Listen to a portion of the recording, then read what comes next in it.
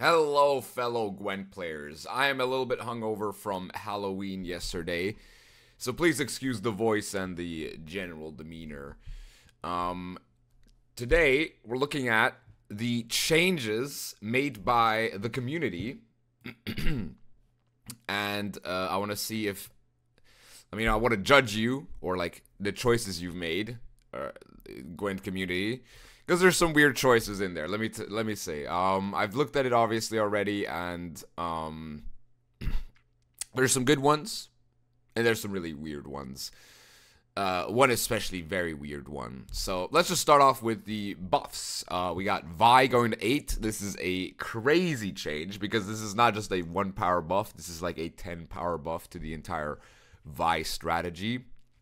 Sasuke Commander, I don't think needed to be four power. I don't I don't I don't see a reason why this is four power. I thought this was fine at three. But I guess you guys wanted it. Uh, Unseen Elder, I can see that's fine. Gezras uh, at six is fine. Braathens at four, I find quite interesting. I'm guessing the reason why Braathens got buffed is because of a lot of other Nilfgaard stuff getting completely nerfed to the ground. Like some of the decks have like four nerfs or five nerfs all in one with this patch. So yeah, Braathens definitely um, okay, sort of as a compensation. Uh, I think Braathens is a fine card. It's gonna be uh, better with it, it, as I can also see that Artorius also got a power buff. This means something like practitioners might actually be more common because these are actually very essential to that strategy because you know you want to get as many practitioners and that extra power could definitely make a difference for sure. Phoenix at five that's something i also voted. Uh crow mother at five also something i'm a big fan of. Um it playing as a 9 for 10 on deploy and then being 5 carryover is very nice. Phoenix spam is definitely a thing you can do right now. At 4 this card was just a bit too weak but at five, I can see it being decent enough. Ruin the same. Ruin, I think, is really, really strong at four. Um, but I've never seen anyone play Ruin, so maybe this doesn't really make a change. Flying Redania at four, though, is a massive change. I think this is a crazy good buff for Syndicate. Very interesting stuff. Nithral at six makes sense. Black Ryla at six makes sense.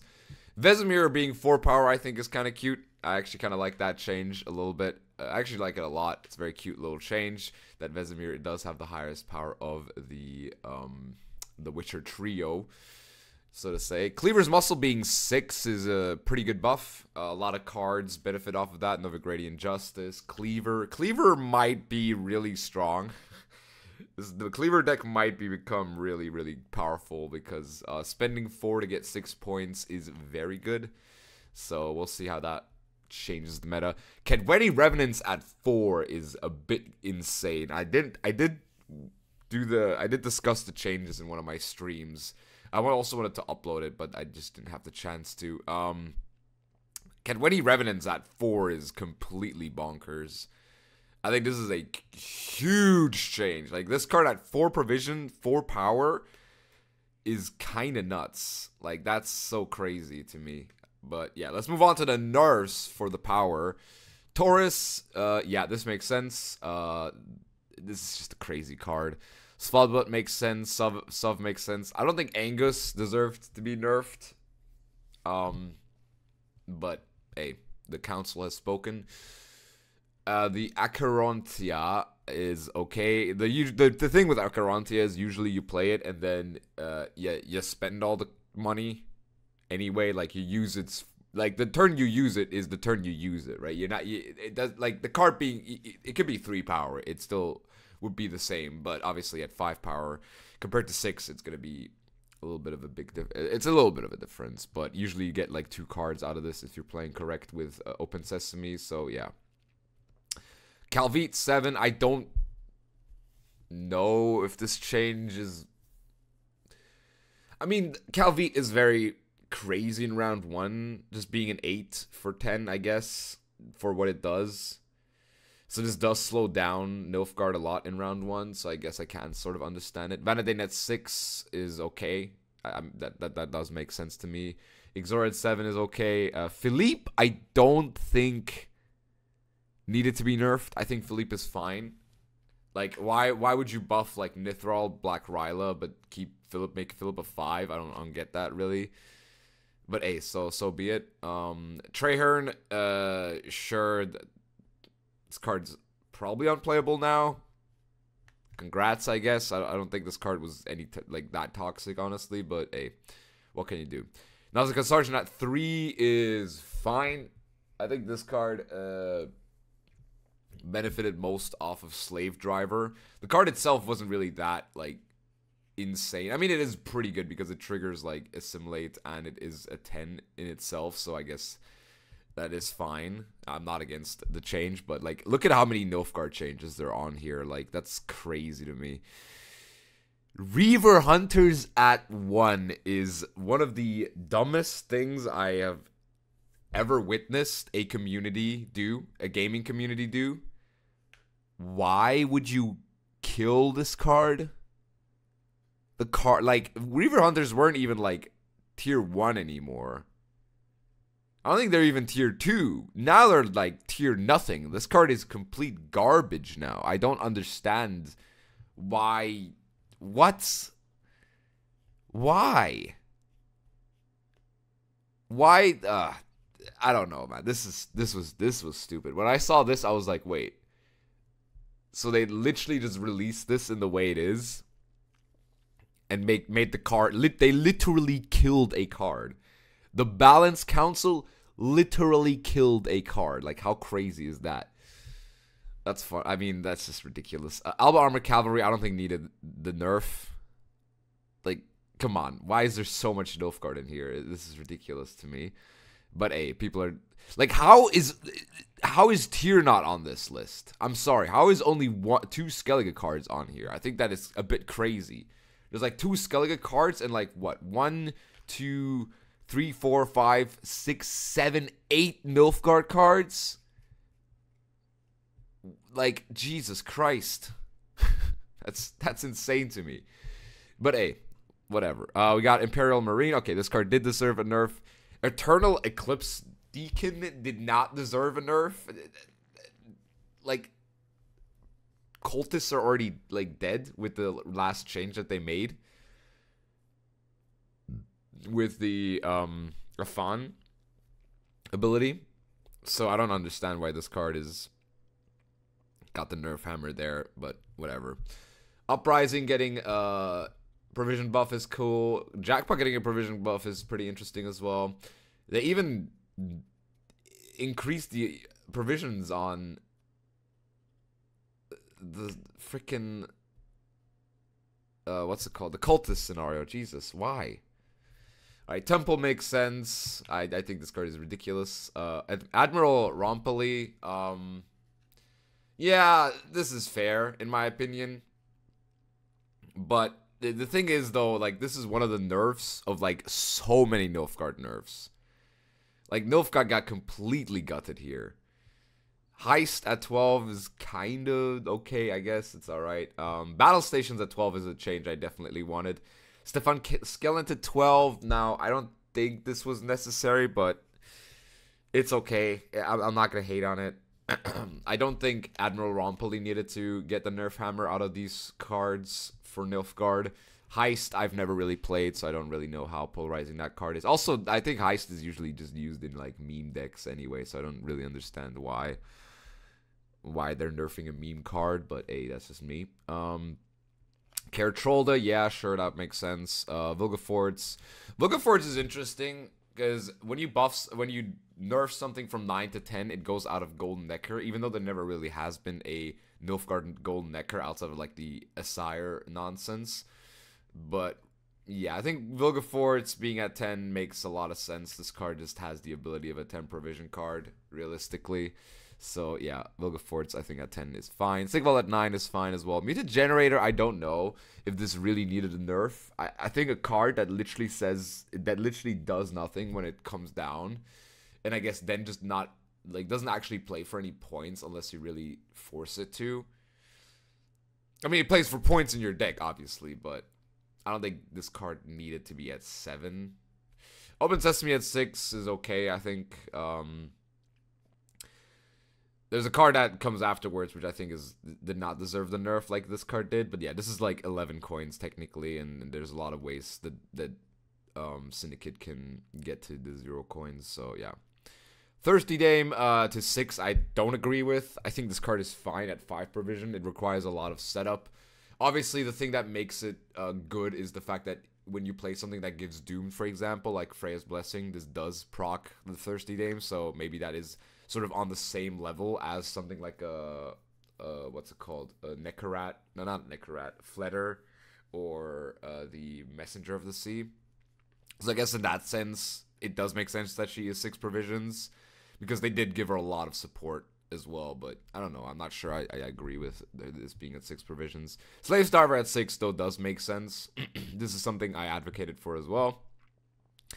Bare Knuckle Brawler at five makes no sense to me. This card was a one for one spender. Intimidate Engine, sure. Like, I, no, I don't, I don't think this card needed to get needed to be five provisions. I don't I don't see it bit of a silly change to me. Um, all right, we got a decrease in Imperial Formation, Enslave, and Patricidal Fury. Dude, how many Nilfgaard nerfs are there? It's crazy. Um, but whatever. Amphibious Assault going down by one, and Siege going down by one is a bit crazy to me. Of all the cards, Northern Realms, Amphibious Assault, I don't think needed to be nerfed, but I guess people are playing it now, so Roach also. I, I, just saw. I just saw Roach. I actually didn't notice that the first time I looked at this. Uh, Novigrad down to 11. That's fine to me. Um, they did nerf this card because of all the other stuff being a bit too good, and it kind of got nerfed because of that. Uh, Filavandrel to 11 is fine. Philippa is something I have advocated for again, um, but I think she needs to be 10 provisions. Funnily enough. Uh, Magic Compass going up to 9. Sure. Verena going down to 9 is interesting. Um, Wait, was Magic Compass 10 provisions earlier? Wait, why was Magic Compass 10? That's weird, whatever. Uh, Verena, 9, sure. Roach, 9 is interesting because of Golden Nekker. Most definitely. This is actually a very relevant change. Pulling the Strills down to 5, I don't think this is going to change. And Dregalarva at 5, though. This is a classic, dude. to anyone who remembers, and Dregalarva used to be the best bronze for a long time in this game because it was five provisions and it actually had one base power. Now it has two base power, which I think is quite crazy. And they and they buffed Reaver scouts. So you kill the Reaver Hunter, but you buff the I don't think wait, why is Slave Driver six and what? Okay, so now that we're done with this, there's some good things here. But this is a complete mess. And I'm guessing this is sort of like a learning experience. Like you can't kill a card, first of all, and then you can't make a card that's really really strong and has the same ability as another card, you can't you can't buff a card. You know, like the slave driver getting nerfed in the same patch that Reaver Scouts gets buffed makes very little sense to me, honestly. It really does. So yeah, so very the most questionable ones to me are the the uh what's it called? The cultists. The cultist changes.